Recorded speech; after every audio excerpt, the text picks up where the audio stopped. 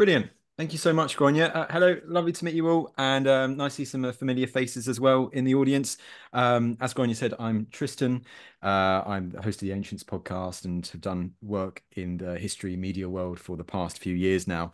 Um, a few things, first of all, apologies that it's quite dark where I am at the moment. I had set up this place with a window behind, and it's like a beautiful day behind, and thought, brilliant, lovely setting. However, when I open that window, basically this whole room kind of goes very dark because I'm using an old laptop because I'm um Google Slides isn't my friend for making PowerPoints, and so I've done Microsoft PowerPoint on my old Asus laptop. So forgive me that I am slightly dark.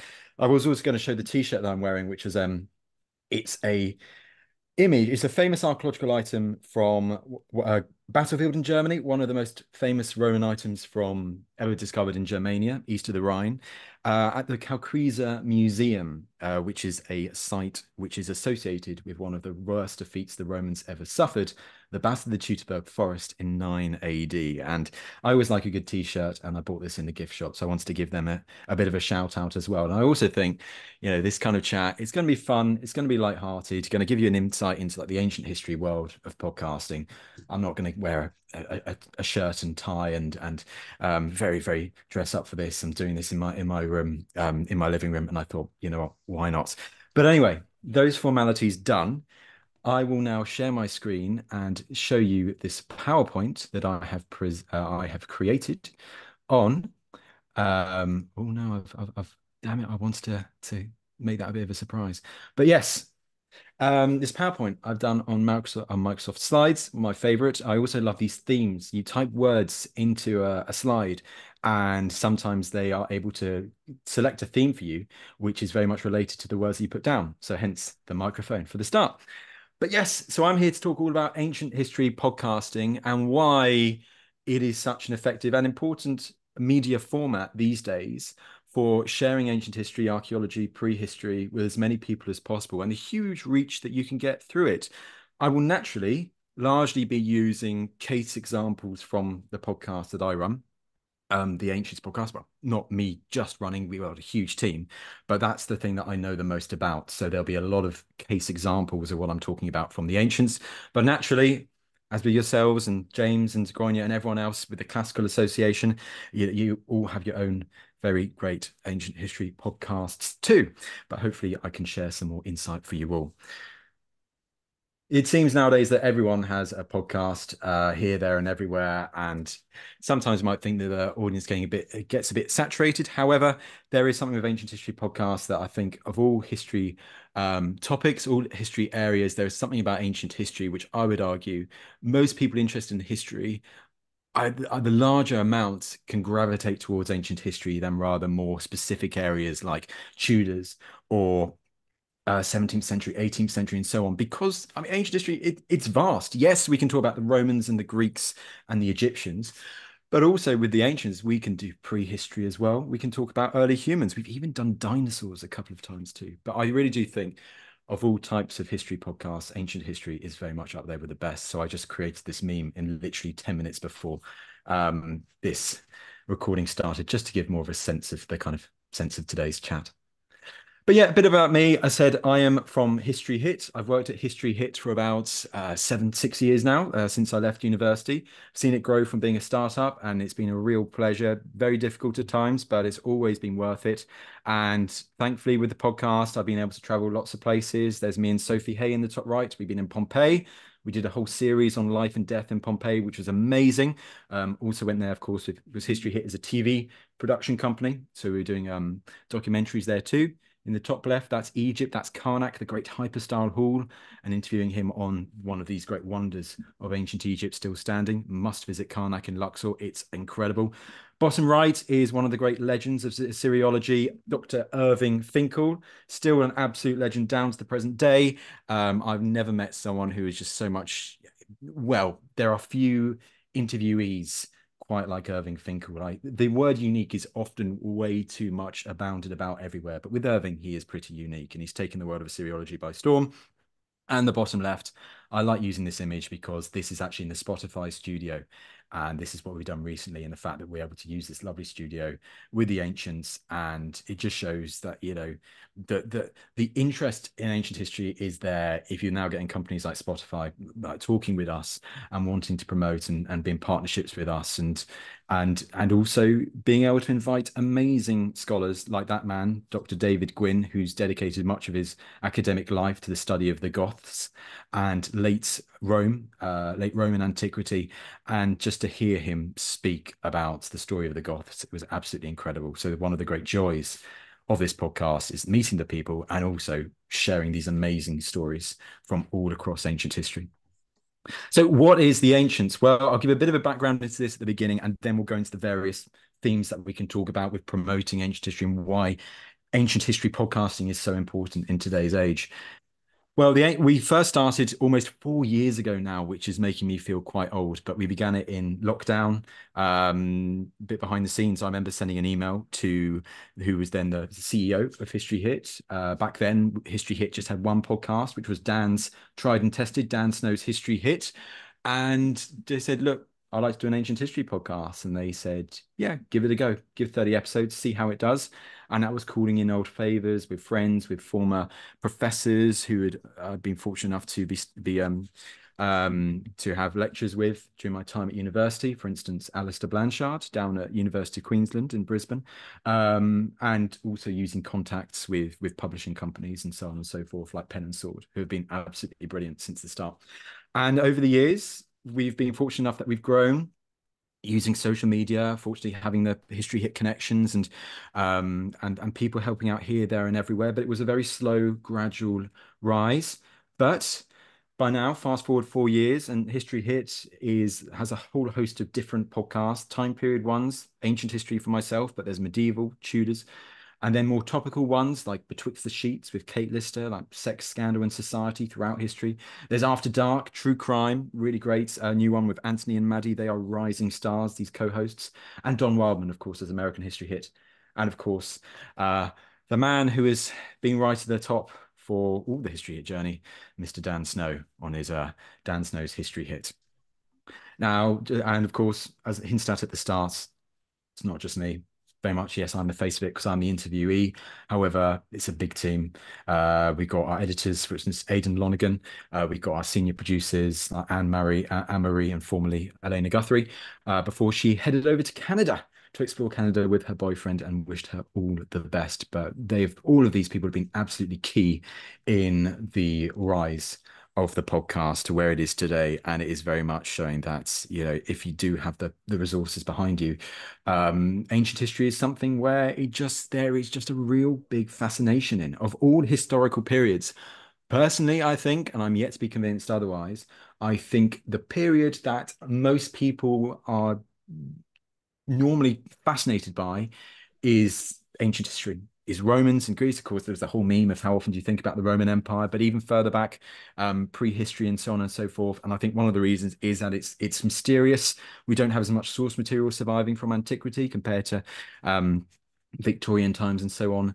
But it's also it, it is vast and it encompasses so many different civilizations. And I think people will also love trying to understand how much are we influenced by these ancient civilizations today? For instance, in the UK, I mean, Roman roads and stuff like that. How much did the Romans influence what we do today? So that's a bit of a background as to what the ancients is and the rise. But of course, I don't want to kind of talk about all that all the time. History hits, the podcast network, ancients. We are just one small part of a much wider History Network and Ancient History Network in itself. There's some brilliant uh, ancient history podcasts where we'll get to in a minute. And of course, the Classical Association very much falls into that. But in the story of history podcasts, oh my days, you see a new one almost emerge every week. Uh, and, it, and it keeps going. And it's, it's great because I think a podcast. I'll show you in a minute about removing the glam, but you can really kickstart a podcast um, with very little resources. Now, of course, if you want to get right to the top nowadays and stuff, then then there does need a bit of extra investment usually behind it. However, one of the great things about podcasts is if you're passionate about something and you want to focus on something and you want to talk about it and share, you can you can create one and you can just keep keep working at it and build over a bit of time a small it depends how big the audience can be, it can vary, but a dedicated audience. You almost become part of their life. Um, and I know that particularly because the podcasts that I follow, which I must admit aren't ancient history ones, because that's my job, um, football ones, I support Birmingham City. So if there are any um, Aston Villa fans in the audience, I do apologise, but um, I listen to a very, very specific one, which won't have that many um, people listening to it, but it's what I love, and I can't wait for the next episodes. But yes, we are part of a much larger history podcast network. There are so many history podcasts going out, but there are some there's variation, of course, in them, focusing on different areas. You have the big, almighty, all encompassing history ones, like the rest is history, like Dan Snow's history hit, and so on and so forth. But you also get the ones which are more niche, which focus on particular areas, which you would think from the outside aren't going to be as big as the all encompassing generic, generic history ones. And that is usually the case. However, what I've found with these ones is that they do have um, a more dedicated audience. I've only picked out one example here, uh, but this is an example that really struck out to me because I've interviewed the woman on the right before a couple of times for the podcast, Professor Helen Bond, and she and her co-host David Roost, they host the Biblical Time Machine, which is very much focused on the Old Testament and the New Testament, but exploring the real history of the people, places, and events. As I'm reading off the screen now. Um, but you know they they know what they do they focus on that area and still they can encompass they can talk about john the baptist they can talk about paul or maybe king manasseh or you could go all the way back to the torah and the book of genesis and the flood story or talking about more recent things like the incredibly confusing story of the book of revelation or king herod. But that knows what it does and it has a smaller audience but a very very dedicated audience which go back and back and back so it knows what it does and of course, the Classics podcast is very similar to that. It's this idea, you know, you know what you're doing. You have your mission statements. You know why you're here, and you'll keep creating these episodes. And it is, of course, to help with um, people revising for this important time um, in a in a in their life growing up in education. And giving that resource available and making it available accessibility is one of the key things and benefits of podcasts which we'll share we'll get to very soon. Um, and the classics podcast does this brilliantly being able to give this fantastic resource to people to teachers and to students to learn more about you know these various parts of, of the curriculum. And was also interesting at that time, it also gives a platform for the experts to go on and talk about what they love. And what I found is uh, on the Ancient History podcast is uh, interviewees they just love being asked to be interviewed about this stuff something they've dedicated their years and it's such a joy to be able to promote their work with a wider um, audience than just the main academic field so yes, you get the larger podcasts and then you get the more niche ones. However, even the more niche ones, you have a dedicated audience because that's their mission statement. It's very clear and it aligns with people who are very much dedicated to wanting to learn more. And I think both Biblical Time Machine and the Classics podcast are great examples of that and doing a huge service to promoting these parts of ancient history with a wide audience. So one last thing on on the podcast kind of background, I would say normally there's there's kind of two big different models to it, um, particularly for the big ones. There's the always on versus the seasons. Now, always on is you have you, it, it's it's a big time resource. It is every week you are releasing episodes of that podcast, different things. Ancients does it, all the history hit ones does it, but the benefits of that is that I would argue your audience, you almost become a, a, mainstay for large chunks of your audience. There will be chunks of your audience that will kind of dip in and out. You'll see what topics they like, what topics they don't like. They'll listen some weeks, listen other weeks. However, there will be that contingent that will listen to the podcast regardless of what the topic is because they're just fascinated with learning more because you've almost developed that trust with them that you're going to give them as great an episode as possible or, or you will try to. Um, and this, there is also a lot of forgiveness. When mistakes are made and mistakes are always made i've made so many mistakes and so many errors when uploading and so on and so forth when going on. Um, but that is another kind of hint I want to talk about here with with ancient history podcasting is that when you get that dedicated audience you can lure them in with the big topics. Uh, and then once they kind of see them in, in, as a point of life as a point in their their everyday life as and as something that they're learning from that they're benefiting from you can then introduce them to more niche topics. And it's we have this phrase you know come for Julius Caesar but stay for indigenous Australian astronomy or Kazakhstan's Bronze Age or the prehistoric North America because you get that, you know, entice them in, develop a relationship, um, kind of thing. And then you can share these these other areas that people might not initially have thought, wow, I'm not actually that interested. And then actually, wow, I can't believe that this area of the world also has this amazing archaeology. And one of the great things sometimes when we're talking about Romans and Greeks and the curriculum in the Egypt is when we we go away from Rome and Greece and stuff and then focus on Mesopotamia or even further afield, but use a link to show how interconnected these worlds were and how, um, let's say, like the Mesopotamian world was influencing uh, Rome and Greece. How you see certain cults and religious practices going um, going westwards into the Mediterranean to places as far as Hadrian's Wall, and emphasizing how you know all these places don't live in a vacuum. And I think that's something that I know that um, the curriculums are really keen to to promote at the moment is for them those learning um, to show that this was very much many cases you can put the case that very interconnected world. Um, but going back to this slide there's also of course the seasons and i think your destiny is a great example of this. Seasons um, you know kind of their, their off times and then there's new season out people get very excited and then there's a spike in listens and then there's a several episodes over a couple of months and then the season ends. And the benefits of that is that you get that rush at the beginning. Again everyone's very excited. There's a new season of your favorite podcast coming out. But i say one potential downfall is that that time when you're away like i mean loyalty can sometimes fade after a bit of time in the podcasting world. And that time you're away you do run the risk of certain people deciding actually to find different podcasts to listen to. And when that series comes back actually you've got limited time where he lives in very very very busy worlds. You decide actually might not listen to that. I might keep on this new podcast that i really really enjoy um, and is more more consistent. So that was also one thing i wanted to kind of get with the overview of the podcasting world is this kind of two various styles. They're always on versus the seasons and they both have their pros both have their cons.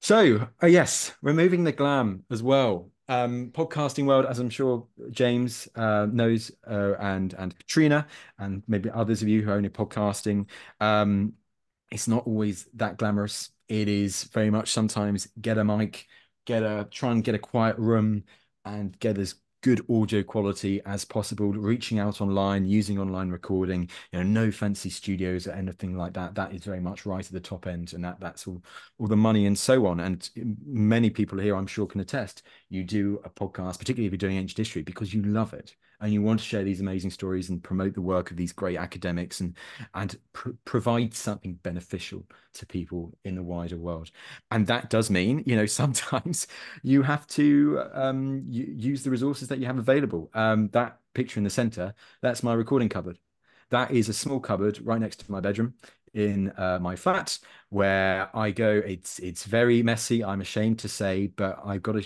give you what it what is that part of my life. Um, close the door, and that's why I record intros and outros with the best possible sound in the um in the flat that I have. And the image on the right is my desk looking out and that's a online recording studio called Riverside which I'm a big fan of which we're a big fan of at History Hit on which we record interviews with guests. So yes although there are times where it is glamorous and you get to go well, well in my in my case and and and go to the places and interview people in person the bread and butter is always always kind of sitting at home recording a podcast get Audacity or whatever out, record the rushes, and go on and edit them a bit later on.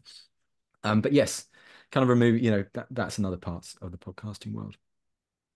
Ah, interesting theme. So I typed in accessibility, and this was the first one that came up, and I was like, brilliant, let's do it. So let's talk about accessibility first of all. What is one of the great things of ancient history podcasts and podcasting generally in this day and age is the fact that most of them, if not all, are free you know there is a yes there is a way to monetize them particularly if you get a, a, large audience but many people do podcasts because it's something you absolutely love and want to share these stories with the wider world. You've got a very much a very clear mission statement. And one of the great benefits is that whatever phone you have normally you can be able to access podcasts laptop as well. Um, but I'm going to keep on the phones because I want of something I want to talk about in the next slide. But you have stuff like Spotify now. Spotify is now very much underway with podcasts. I actually prefer Spotify podcast to Apple Podcasts, but that is because I do use an Android phone. So um, I would probably say that's more than most, but I do like Spotify platform for podcasts. Of course, the one in the center is Apple Podcasts, which is still, I would say, the dominant form of people listening to all types of podcasts. And the logo on the left is probably the least known, but you might know it. That is Acast. You might know the word Acast from um, people promoting ads and so on. Acast is very much a podcast platform, um, and they help us a lot. For instance, with um, sharing our material and who we are to potential people who might want ads sponsored uh, on the ancients and so on and so forth. But the accessibility is great because podcasts are available on these networks. Um, you, you set up one and you can share the link and then people can listen to the podcast on their own platform or if you're the creator on the platform that you choose. But then straight away you can start trying to build an audience because there's no great kind of difficulties to get around. And I think one of the great things with podcasts is their ease of use, ease to listen to, and usually that yeah, their ease, um, their ease to access for people. We of course live in a very very um, busy world. Uh, it's I must admit, if I'd have done this talk this time last week, I'd be incredibly tired and probably um, monotony droning on, and many of you would probably just just um, zone out because I was incredibly tired because going all around the place. Uh, but fortunately, I've had a bit more sleep today, so all good. But we do generally just live in incredibly busy places, and one of the great things about podcasting is that for the more, dare I say, mundane tasks that we have to do in our daily lives. I'm not saying that always. Cooking is great fun. Love cooking sometimes, but maybe other times it's not. Um, those times can be filled with what you want to do? Well, listen to a podcast, something you can do whilst doing something else. Um, so some of the key areas that people will listen to podcasts will be in commuting on the train, uh, on the bus, or wherever driving. You'll be listening to it on the radio. Uh, well, not the radio, but you can plug it in uh, to your podcast and so on and so forth. But you could also be doing it whilst you're cooking. I've heard people who say that they listen when going to sleep, which I don't really know how to take that, but it's still hey, I'll take that. I'll take that well. And also, I've heard cases when people will listen to ancient history podcasts when preparing to go on a trip, um, for instance, to Egypt. They've listened to certain episodes to get them more understanding of the place that they're going to visit and the sites that they're going to see. So, moving on, one of the great other great benefits of podcasting in today's age is speed. Now, in old times, of course, you have radio, um, you would have radio, uh, radio shows, and you would have TV documentaries. All of those things usually take a bit more time, or it's a bit more divided up as to when they're released to the general public. One of the great things with ancient history, with History Podcast Day and ancient history podcasts, and all podcasts, is the speed that certain podcast topics can be um, published um, if you want to get on a particular trend or something has come up that you can decide, okay, I need to record something quickly. If you have the time and resources, you can put it up and release to the wider world. And it doesn't, you know, podcasts don't have to be perfect in the quality. And, and people do appreciate when something is very much put up at, at short notice, almost the so-called emergency podcast, but to align with something that has happened recently. This is an example I used in the Ancients, which was actually very early on in the story of the Ancients, um, only about six months from the beginning. Uh, I don't know if any of you remember this story, but it hit the BBC News on the 14th of January 2021. And this was absolutely fantastic. It was the discovery in Indonesia, on an island in Indonesia, of the oldest dated painting of an animal in a cave ever and it's 45,500 years old. It is astonishing. Three warty pigs and also the handprints as well by early Homo sapiens who had come to this island in Indonesia. And I saw this, got very excited. Um, still during lockdown at this time, I believe. Um, very excited and contacted one of the archaeologists involved in the discovery, a man called Adam Brumm. He was in Brisbane, but we uh, he was very keen to chat. So we organized a podcast interview for the next morning at six o'clock my time, six o'clock in the morning, which was like six o'clock PM his time. Um, and we recorded the podcast, got it edited later that day, published it and we were one of the only podcasts to do it because to be fair, most podcasts actually wouldn't really want to do a topic like this because they think it's too niche. However, we are an a dedicated ancient history podcast. We know what kind of thing that people would love. This is what we love, um, and we promoted it, and it did very well. It did it did well. People loved it, and no one else really got on the bandwagon of this particular discovery because at that time they're more general podcasts but it really shows that when you have a particular niche particular focus and you see something that really excites you and you share it um, other podcasts might think it is a bit yeah okay bit meh or whatever. You focus it you take the credit for it because you're actually the one who's able to share this amazing research and knowledge with as many people as possible. And by that we were able to share i said to share this story with more people. Who were just like wow never knew about this at all. Very far away from rome and greece but that was a part of our that's part of our ancient history um, um, mission statement, I guess, shall we say?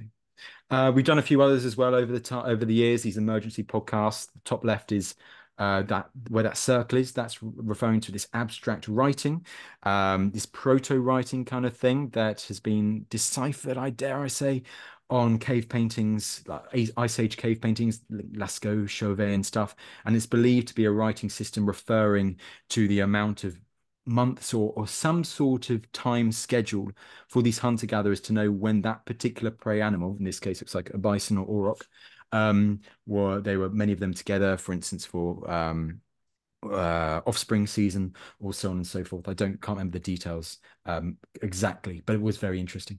Um, bottom left, we did something when the Ukraine war broke out and kind of really fighting back against that narrative from Putin that Ukraine has no history and so on and so forth we we did showing up the archaeology of the region of Ukraine, very much an emergency podcast, um, released almost the day after that infamous day, uh, more than two years ago.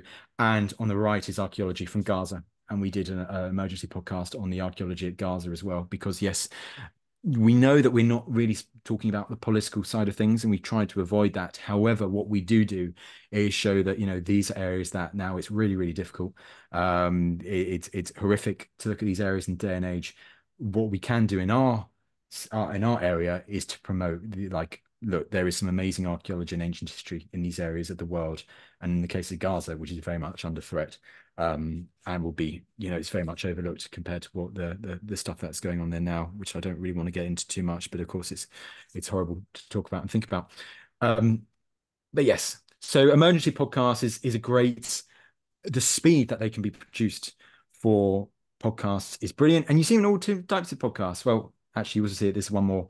This is a discovery of rock art, the earliest, um, the only depiction of an animal in rock art ever found in Scotland. It was found a couple of years ago underneath this great stone. There I am with a, um, a cameraman. We were looking at in Kilmartin Glerton, uh, Dunchraigaig Cairn, and uh, archaeologists discovered the outline of about five different uh, deer, and a few of them were stags, and this one's got beautiful antlers and got a drawing of it there, and that was amazing. And we we did an interview with someone almost the day after that was announced, and it was great fun. As I said, something that is quite niche for many others, but for us, we wanted to make a, a, breaking news podcast about it because we know that our audience and that that's what we do. Our audience would find it interesting, and that is part of our mission statement to share these amazing discoveries and so on. Um, and of course, the the story of the emergency podcast is all across the podcasting world. Once again, I've got Birmingham City there because that's one I listened to recently. Uh, the sacking of Wayne Rooney, which took headlines by storm in early January. But of course, you can do it in the political sphere, Sunak calling the general election, um, election ones, sport, you name it. Emergency podcasts are very much uh, a, a part of the podcasting world, and they're very much a part of the history podcasting world, and they can be a part of the ancient history podcasting world. So, breaking news stories are also important uh, in the ancient history podcasting world too. Uh, yes, so this was the uh, theme that PowerPoint chose for for variety. Uh, all these buttons of different sizes and scales and so on. We're not going to be talking about buttons, but we will be talking about variety as an important part of ancient history podcasts, particularly focusing on the ancients.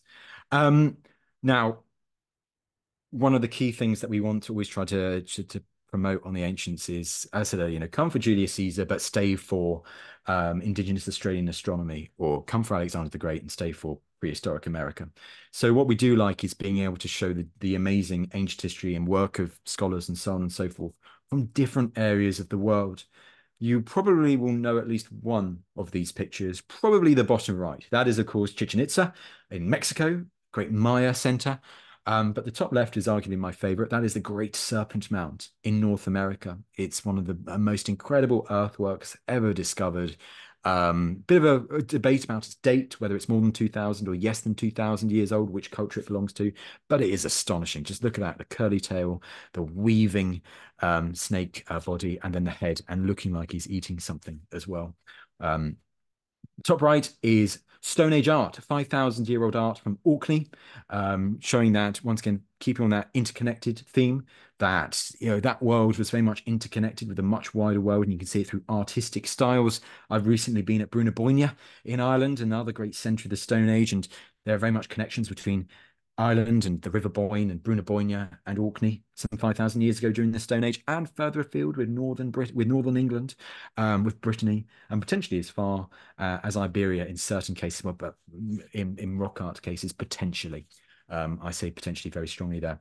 Uh, and bottom left is Nan Madol. This is perhaps the most obscure of them all. This is in Micronesia.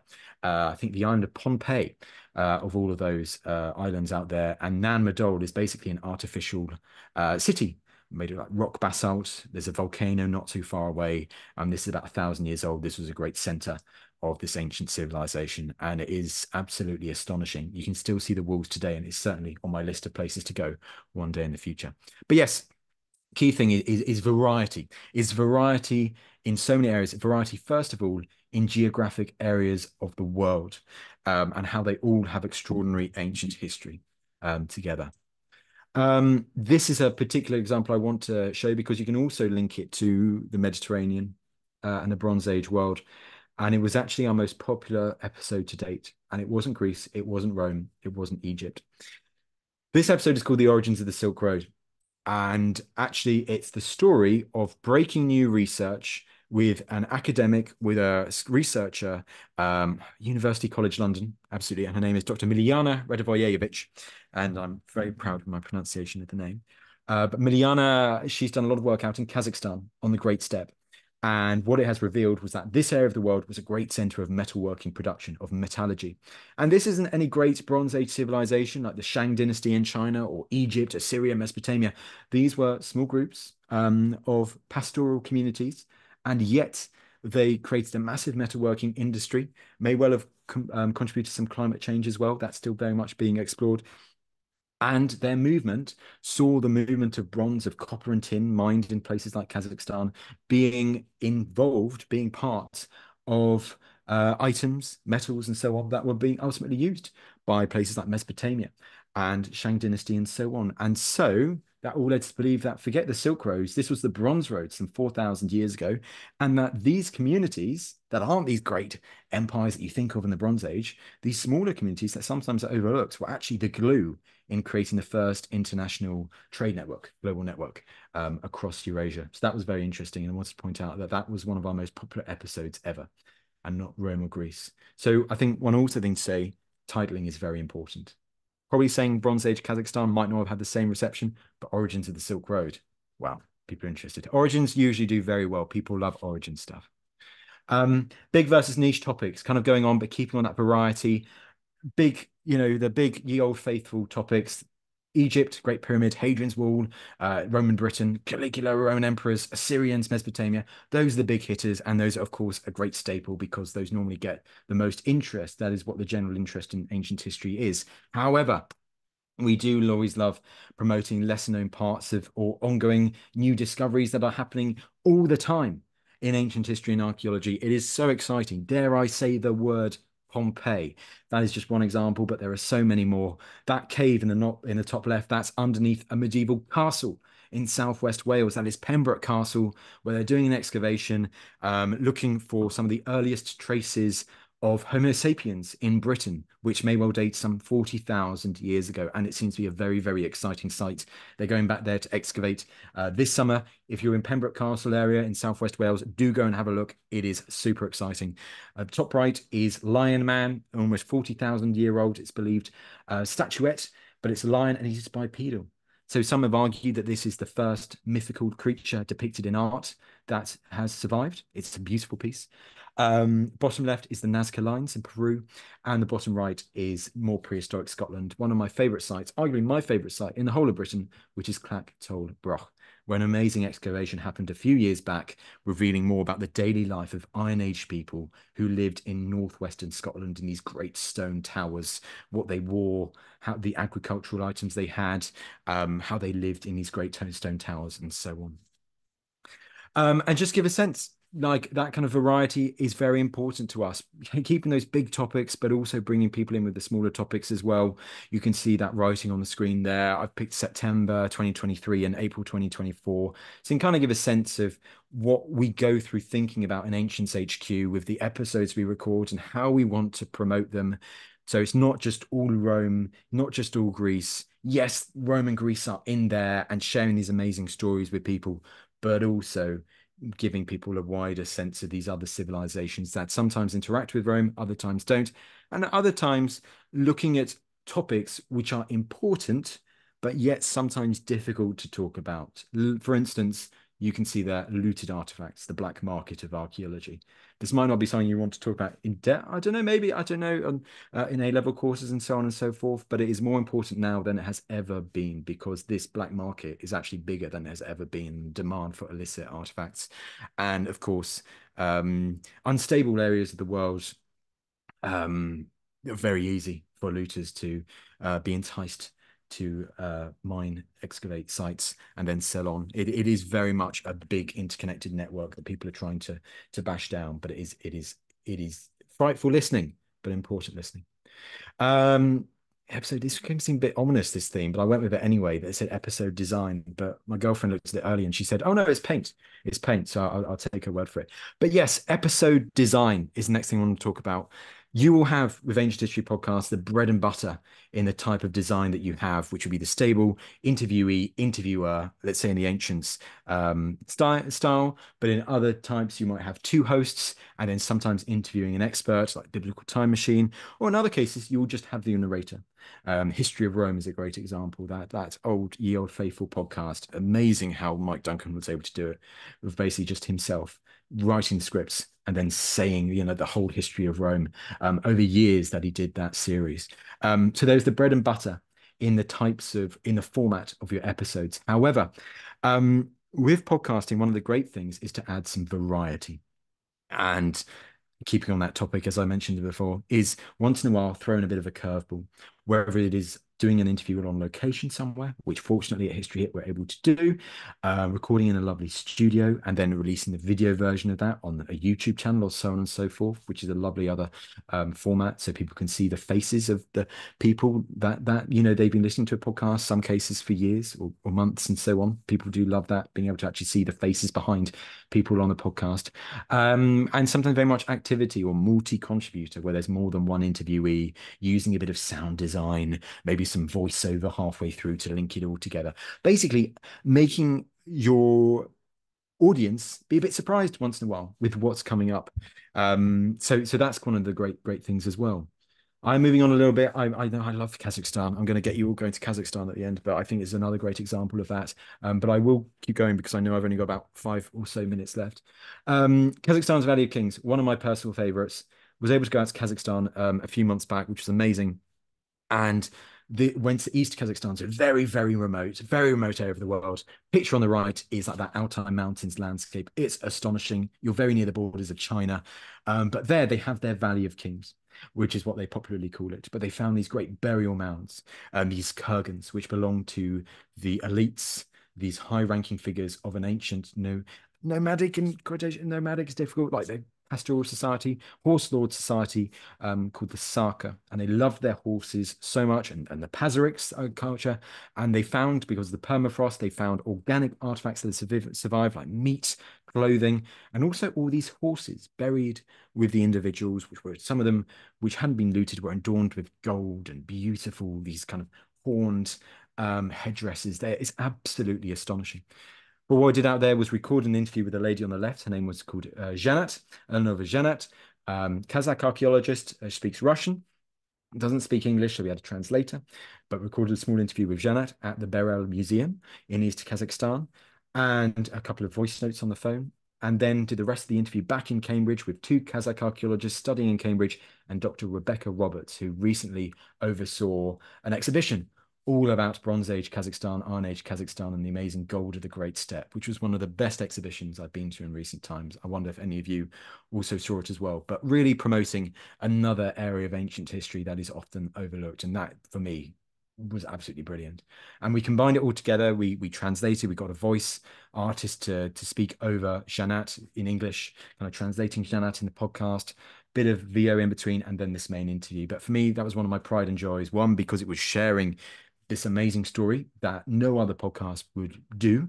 Um, two was being out there, being able to take advantage of being out there, and three, then also combining it with more with the work of other Kazakh archaeologists who are in the UK uh, at Cambridge University. So it really, for me, although it wasn't, it wasn't an amazing big hitter like Caligula or Origins of the Silk Road. I'll happily admit it, but it was my personal favorite because it was such an achievement by the team.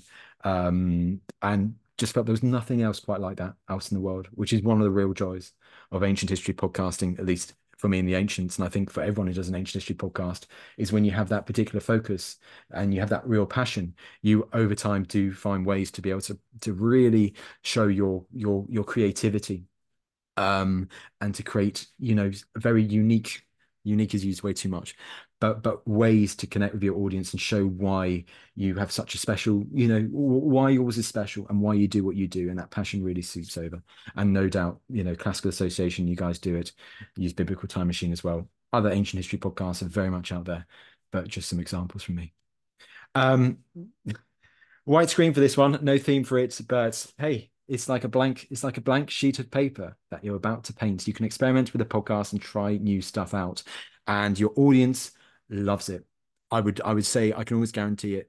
Don't or you know there is a tr- there is the bread and butter that your audience will expect that you always go back to but once in a while throw in a bit of a curveball you know showing that you love you want to try new stuff um and and your audience love it maybe let's say kazakhstan's a bit bit out there but go somewhere like Richborough or go to an amazing site in um in the UK and record a bit on location stuff. That adds so much. Just being like, I am here, um, talking about this site and it's incredible. And I'm meeting X or Y, or I'm going to talk to you about it a bit here.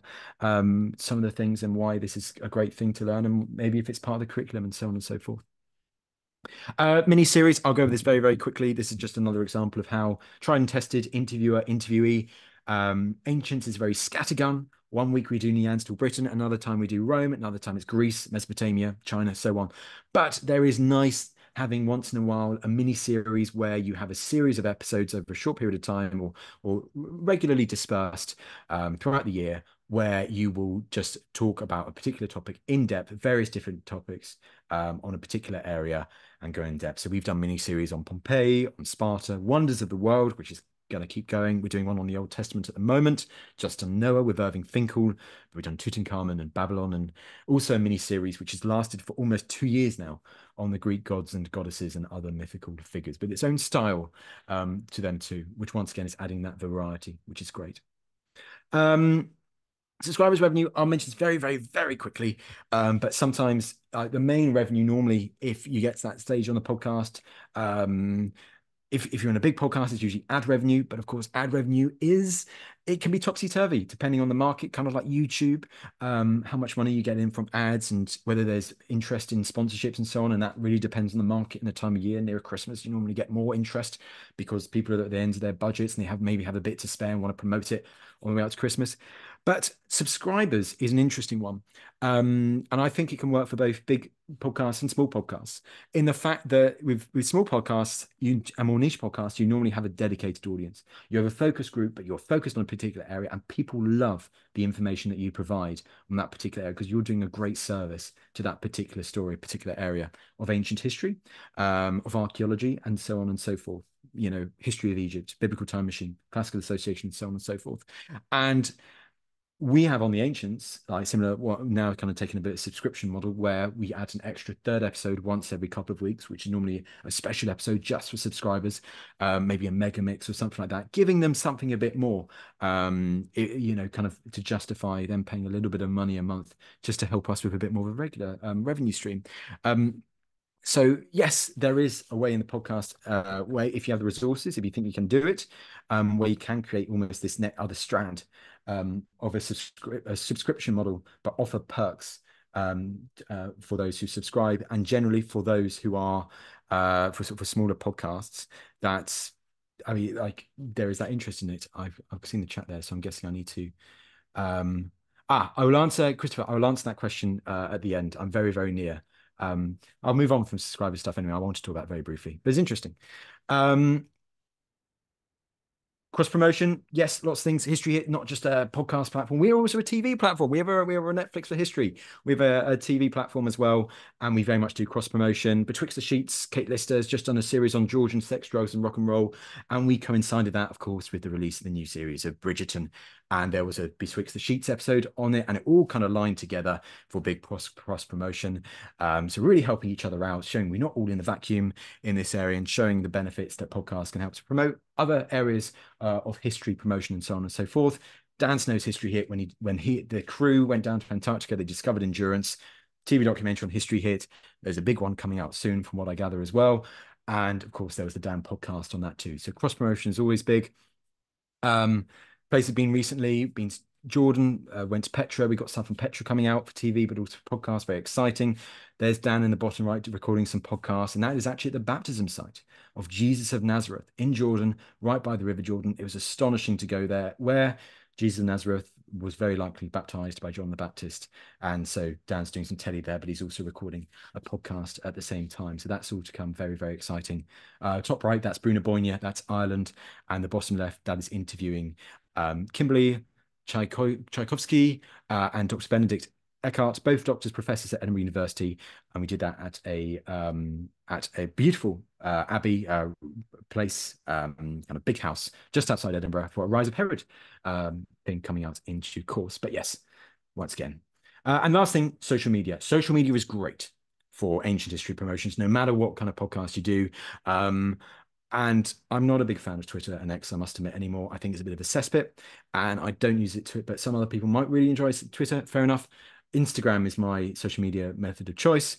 Um, and usually I see other ancient history podcasts really using um, Instagram effectively, particularly the reel function where you create these small videos and you can do it when you create an excerpt from a podcast you've recorded. I'll mention here um, one I've seen on YouTube a lot. I think deserves credit is Monink.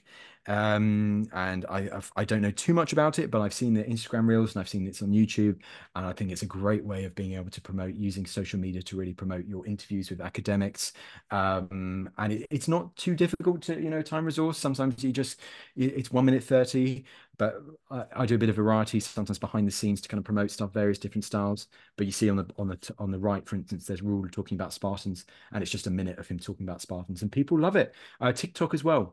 So TikTok and Instagram is a great way to get lots of eyeballs if you get a good, you know, catchy topic, good excerpt from an interview or so on and so forth, and the potential to get lots of eyeballs on that podcast episode. Um, and people, you know, it's not going to be 100% click through to the podcast, but it's a great source. I think Instagram Reels are a brilliant um, way to promote the academics and the people who you use in your various podcasts. Um, I know I was only 45 minutes, and so I've gone, uh, Gronya, I've gone slightly over. Um, would you like me straight away to ask that, answer that question by Christopher? Yes, please. And if anyone else have any questions and you'd like to put them in the chat or raise your hand, then we can take those afterwards. Um, fantastic. Well, well, for, uh, Christopher, I'll answer your question first, and that's a great question that I, I, I overlooked. Yes, we do interact with our audience a lot.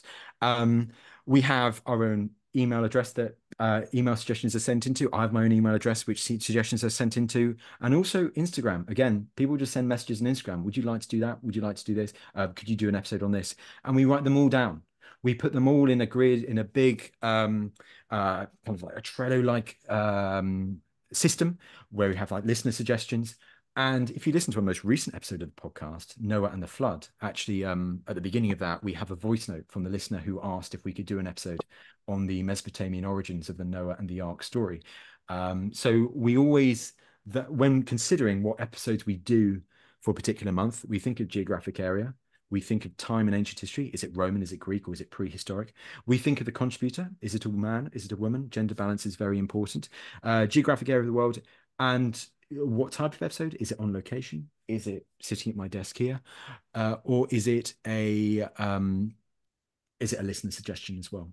And can we get a voice note from the person who suggested it um, to put at the start of the episode, which is really nice because sometimes at HQ, when you look at the stats and you get too obsessed with the stats, um, people, your audience, you almost take for granted because they just become numbers as you're chasing bigger and bigger and bigger numbers. And you forget that the actual importance that you are giving, like, you know, part of people's lives and, and sharing these stories with as many people as possible. Um, but yes, so that so yeah, uh, short answer. That was the long answer. But Christopher, to your answer, yes, there is a lot of interaction uh, with the audience, and also trying to get them involved as much as possible when it is possible. Got a couple more questions for you, um, James.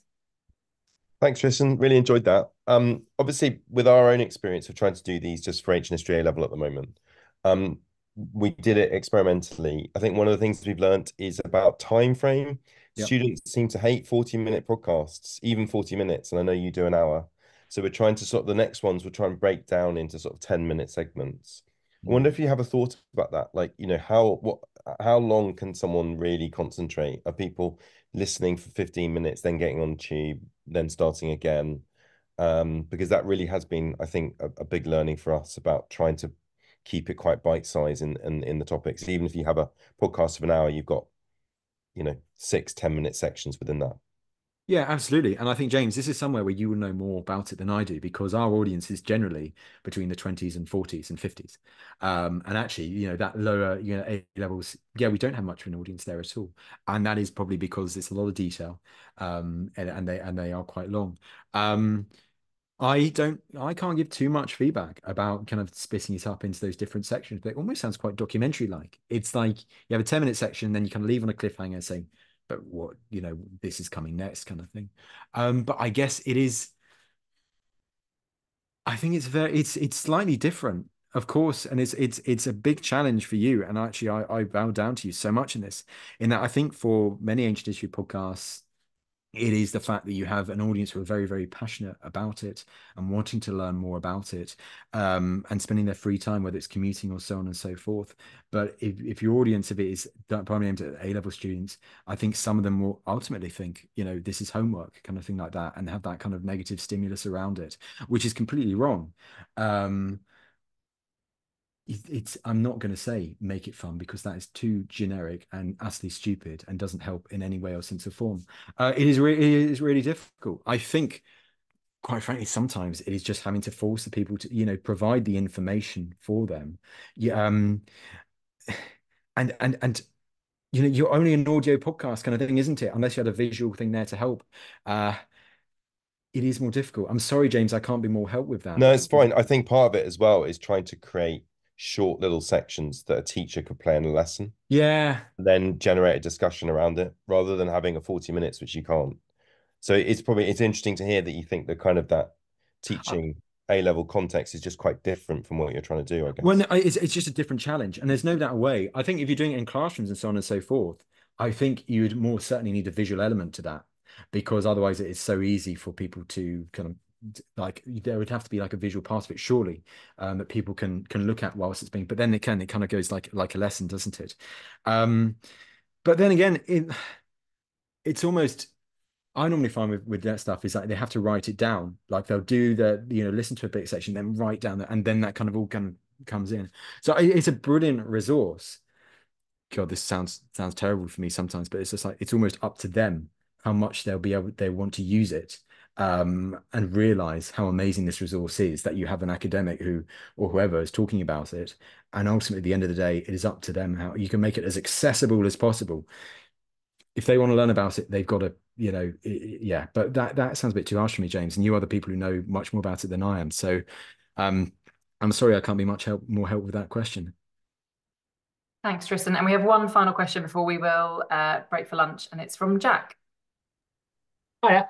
Um, th that was great. Um, thank you very much. I think the the point about kind of diversity in terms of geography and culture and all the rest of that is is massively important because I think that's the bit where the school curriculum at the moment is um, uh, lacking. Um, on which topic, one of our kind of things as, as, as for what we do, we spend a lot of time hunting endlessly for English translations of primary source material. Yeah. And I was just wondering if you're doing all of these topics that are kind of very far flung, Greek and Roman translations, you can you know get five of them for a tenner from Penguin Classics or whatever. Egypt and Mesopotamia, it's obviously a lot more uh, accessible than people think it is. But you know, Bronze Age Kazakhstan and Shang China, not so much. So kind of how how much do you do in terms of research of that kind of thing beforehand, or do you almost go in blind and let the academic do that. Never go in blind, Jack. You know, yeah. fails prepared, prepared to fail, and all that kind of jazz. Um, no, it is literally like like looking. Normally, it is just looking at the papers of the people I'm about to interview. Look, sometimes looking at lectures that they've done online. Um, sometimes it's great to look at that and uh, and trying to get your head around those particular topics. Particular ones like Bronze Age Kazakhstan. It's very very like for Joe blogs approaching that and understanding like the metallurgy and you know different compositions and stuff like that it is difficult to get your head around. And and one of the tasks as an interviewer is when you have someone who's dedicated so many years to that particular topic is to get them to talk about that topic in a way that is possible for the everyday person to digest and also stopping them at times. And i've been bad at this sometimes because i do just love letting people talk but sometimes saying oh you've mentioned this name here. Hang on let's just clarify who this is. Oh well what do you mean by that? and so on. Um but yes, research isn't normally needed. Normally, the amount of research it could be it could be a paper. It could be it, sometimes it's book authors, so it's reading like the introduction a bit of their book to get an overview of the period that they're talking about and to have a sense of you know what areas you're going to cover, and then just kind of let it run as a normal conversation, which is lovely.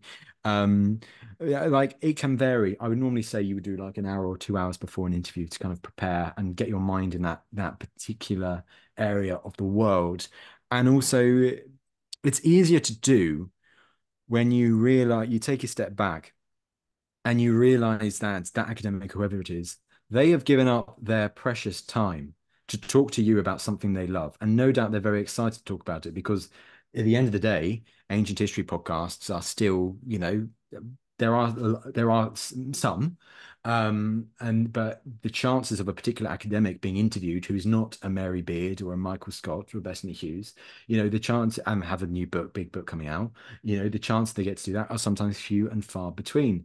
Um, and so you are giving them a great opportunity to share their research. They're very excited about it. Um, and they are, but they are also giving up their time for you. So there is always trying to remember that at the back of your mind as well as wanting to make as great an episode as possible is you don't want to go in just thinking like you're you know you know nothing about it or you're not interested. One of the keys to success of a podcast is when whoever you interview whether it be for a level classics or be for for other areas is that you show to the person you're interviewing a general real interest in what they're talking about, whether it's Neanderthals in Britain, whether it's Kazakhstan, whether it's Africa, um, Serpent Mound, or so on because that's when you get the best conversations out. That's when you get the people having the back and forth lovely conversations where it is you're just thinking that you're listening to your mate talking in the pub or talking with a professor in the pub, very relaxed setting. And that in turn is what is most easy for, I would argue, for people to listen to. So then you get the better retention rates. And maybe that will transfer into, you know, secondary school as well. But I don't know. But but but yes, and answer your question, yes, research does go into it because that is key to giving you as good a po as possible a podcast and episode interview um, as you can do, and you don't walk away from it thinking, "Crap! If only I researched a bit more, then that episode would that episode would have been better." You know, mm. kind of thing like that. So you do. It, it is definitely always part of the parcel. Thank you. Thanks so much, Tristan. Um, and thank you so much for giving up part of your Saturday to come and join us today. This has been really entertaining and really, really informative.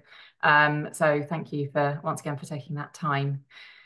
I'm going to stop the recording now.